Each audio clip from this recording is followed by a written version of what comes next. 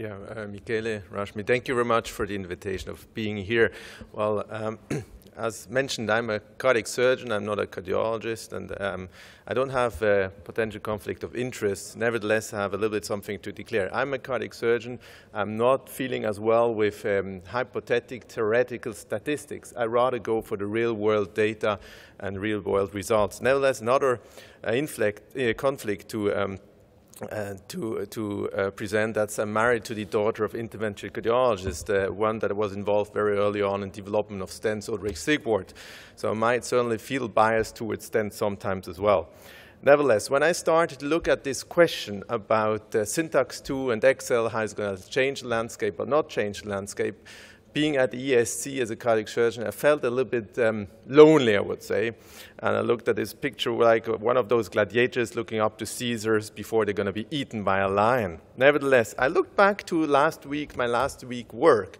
And this is a 48-year-old gentleman that just underwent a, intervention, a diagnostic coronary angiogram for the RCA. You can see what happens here, awful. It's just a dissection. This is standard, it was just a standard diagnostic routine procedure with a type A dissection, iatrogenic. It was stented through the RCA, but without result. The end was at uh, about 11 o'clock at night was this uh, nice little surgical case here with a complete reconstruction of his root, aortic artery replacement, triple bypass revascularization, etc. So this is all, it's nice to do it all percutaneous, small cuts, very easy, catheters, etc. But the end is what it takes and what the results are for the patients. And everything you do has its downsides as well. So I started to feel more comfortable about this talk and said, let's make PCI just become smoke compared to CABG.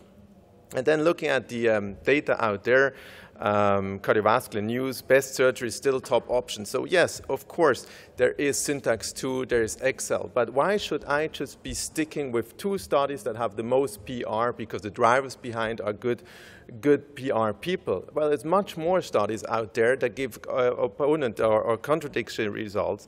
So I start to feel rather like those two boys down here, uh, greeting Julius Caesar and feeling more, more comfortable. So if one is looking at um, best clinical practice, you shouldn't stick to one study. You should go back and look at guidelines. And as you can see here on this guideline committee, interestingly enough, is that many of those guys, Volkmar Falk, for example, was in Switzerland. He left. Peter Jüni is in Switzerland. Ulf Landmesser, he also uh, left Switzerland, is now in, in Berlin. But Giulio Stefanini is now in Milan, was in Switzerland. Marco Valgimigli is right now in Switzerland. And of course, uh, Stephan Windecker, um, uh, my, my colleague, cardiologist and friend at the, at the Bern Heart Center. So those are the most notable. The people have been most involved into looking what is evidence for patients with coronary artery disease and uh, outcome regards of their treatment options. And if, I know this is, of course, old information, but let's build it up slowly um, ESC, EACTS guidelines um, found no evidence if you compare medical treatment with PCI. Um, so old data, nevertheless, the, the information is around and still printed in 2014 guidelines. Um, if you look at uh, drug-eluting stents versus uh, bare metal stents, did not report a low risk of death. Okay. Uh, revascularization with the use of coronary artery bypass grafting survival benefits from CABG in patients with left main or triple vessel stable coronary artery disease. Only 10% of CABG patients received an internal mammary artery. So old studies, nowadays, well, we get to over 90% getting mammary arteries, and even more so, we do complete arterial revascularization. Um, what's about the um, percutaneous coronary intervention versus coronary bypass grafting. Neither PCI nor CABG alone can provide a solution to the entire spectrum of stable coronary artery disease. I think this is a very good sentence. CABG results in more complete, complete revascularization than PCI. And it goes on and on, proximal left anterior descending coronary artery disease, but a threefold increase in recurrent angina and fivefold increase in repeat revascularization with PCI. It all seems to speak for CABG, really. And finally, left main coronary heart disease, the syntax score. So syntax score about 32 or complex coronary heart disease was associated, CABG was associated with numerically lower mortality, 14.1% compared to 20.9% mortality for PCI. Triple vessel coronary heart disease, at five years, CABG as compared with PCI significantly reduced MACE, these are well-known numbers that have been shown by Pascal just before, so I skipped those. And finally, the guidelines on myocardial revascularization. And if I look at the left column on the CABG, I can only see green number ones, and I can see some green number ones on the PCI column. Um, but if I look at level of evidence, even a two-vessel disease with proximal LAD stenosis is a level of evidence C for PCI when it's B for CABG. Now, syntax trial design, I won't go into details, is well known here. But I looked at the syntax score, and this is quite a complex procedure. And I very much have the impression that the trial design is being made in order to really match the technical side of PCI, not looking at the technical side really of surgery. So we look at target vessels, we look at the target lesion. We don't look at the lesion itself. The lesion itself, we don't care, it just needs to be significant. But we look beyond and we create a bypass that will bring the fresh blood distally to the lesion. But cardiologists, the PCI stenting the technical side, has to look at the lesion itself because it deals with the lesion. So all the scores have been made to make sure that the easier the lesion, the better PCI. But it don't incorporate the difficulty or the, the ease of the anastomosis of the distal target. So if you take a standard patient and just took a, a, a, a sample patient that would be a real world, I get a, SD, a, syntax score of between 32 and 30, uh, 22 and 33. Uh, that's a 26 score. And if I look at the outcome, uh, MACE outcomes, we have 21 MACE in cabbage for 32% MACE in PCI. So in these standard patients, we're better with cabbage as well. So I, I, don't want to go through all this data because Pascal has shown it uh, much better than I will ever be able to show it to you. But in all those slides, I can see that there certainly is a benefit of CABG compared to PCI. That's the blue line on the bottom. So even Patrick Serruys stated CABG should remain the standard of care for patients with complex lesion. Low or intermediate syntax score, PCI is an acceptable alternative.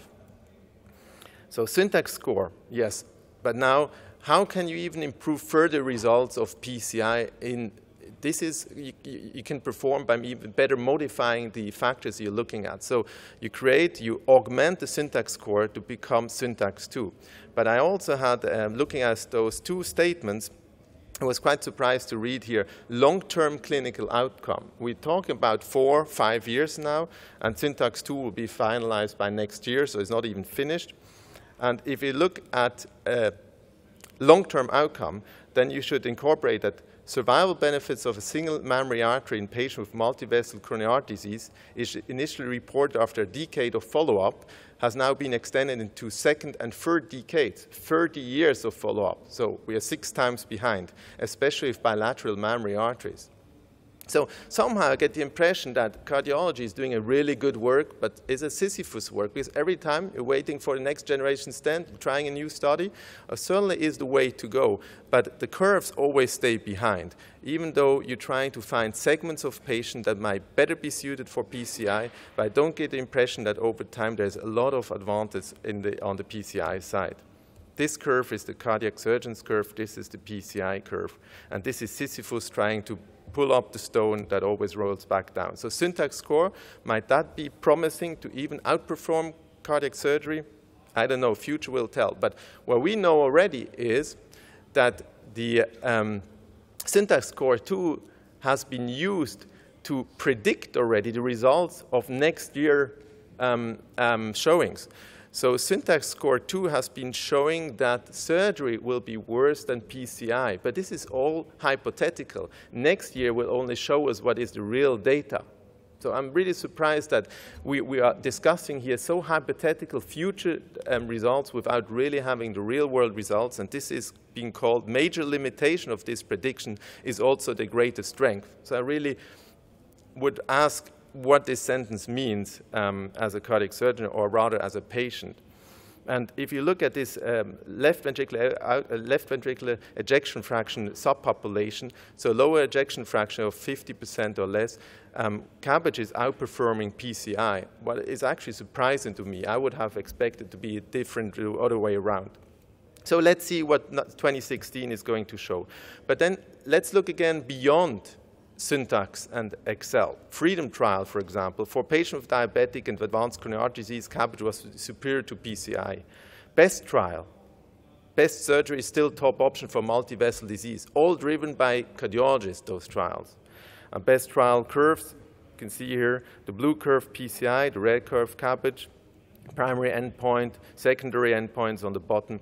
In both cases, CABG is stronger. And then if you go to the uh, trial booklet of EuroPCR, Euro-intervention, and just look at studies comparing, this is all cardiology-driven and cardiology-made, that are comparing cabbage and PCI.